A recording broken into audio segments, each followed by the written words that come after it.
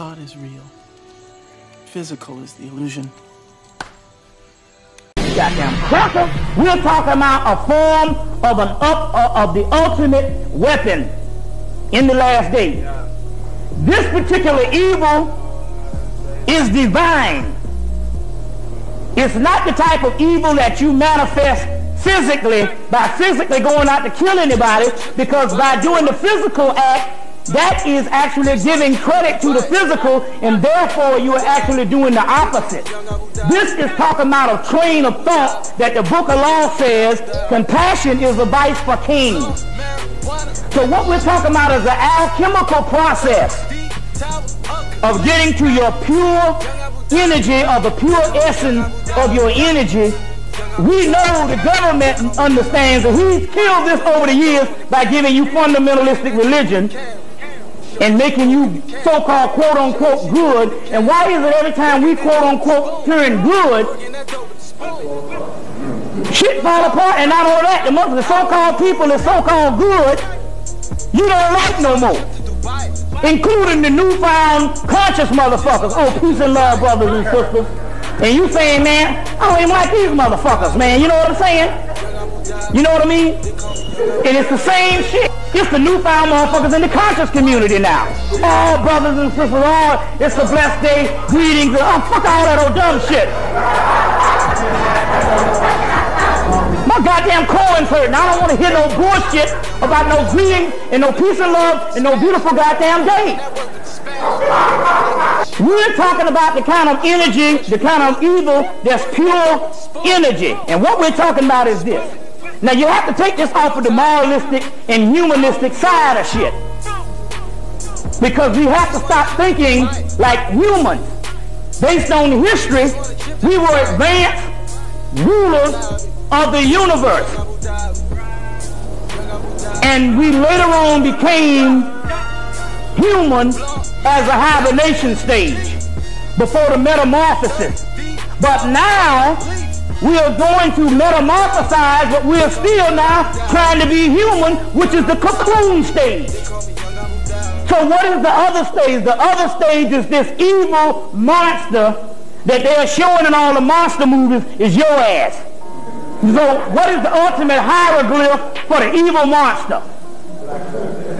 It would be that based on the alchemical term that we're talking about as far as the mythology. It would be something like the movie Alien. Take no prisoners.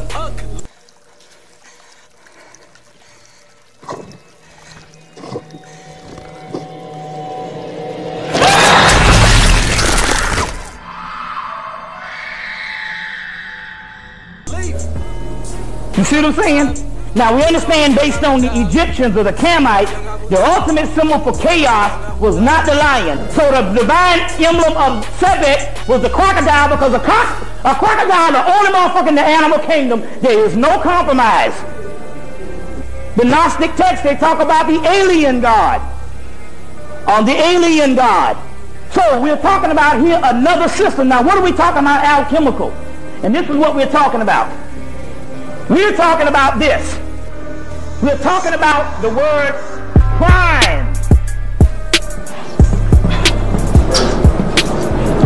Evil. How you get this word prime evil? That means that evil, or as you say, equals, was in the beginning. That's already, I don't give a damn what. Religion, whatever. We talking about chaos.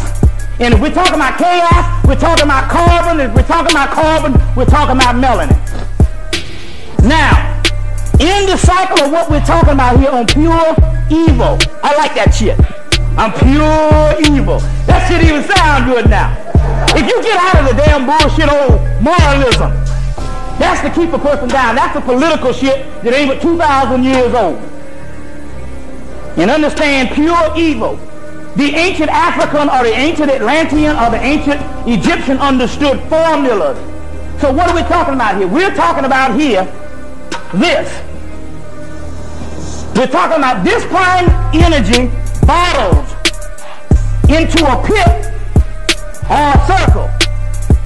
Now, as we know that anything that you put in something encased, the older it gets, the more stronger it gets, till it eventually it is even stronger than the thing that bottled it. So we're talking about the mother energy that was bottled, the primal energy, which is the mother mother energy. Tiamat, the chaos goddess, Apep, who Ra overthrew. After so many millions and billions and billions of years of being bottled, it becomes stronger than the thing that bottled it. So we're talking about being even against God. Oh, now you done gone too goddamn far. See, you, because you, you, we are Afrocentric, we are conscious, but we're still Judeo-Christian in the mind.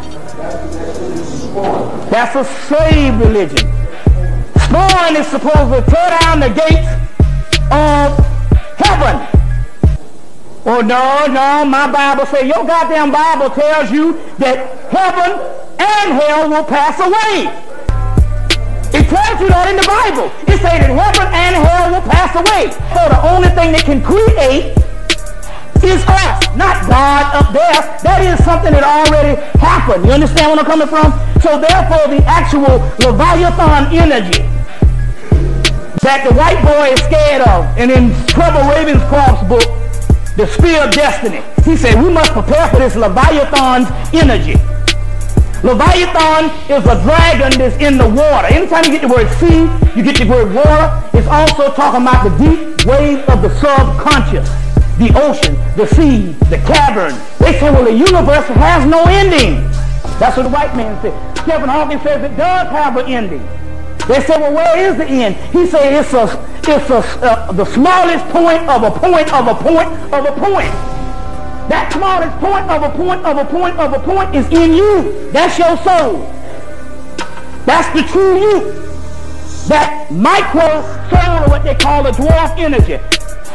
The only thing that they say is alien to both the earth and the universe, and which is basically the alien God, is some stuff that is in dwarf stars, which is burnt out stars, that is packed so tight till it produces a white powder or a white seed that if that particular white seed was to ever become manifested either in the universe or on earth, the whole particular earth would explode. Now, based on alchemy, and based on what the white boy knows, that dwarf white substance, this is based on their calculation. But in us, it's an invisible seed that escapes even when we die. They don't even get that. All the melanin, they can't get this little seed. That's the soul. But one of this, the entire earth will explode. And that, my friend, is the true Christ. That's the true Christos can only be produced in something that is burnt out. So the excrement is something that was used up. It burnt out. And from the burning out, it made a new seed.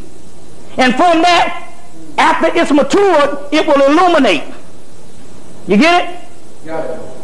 That seed, and that, my friend, is the Christ.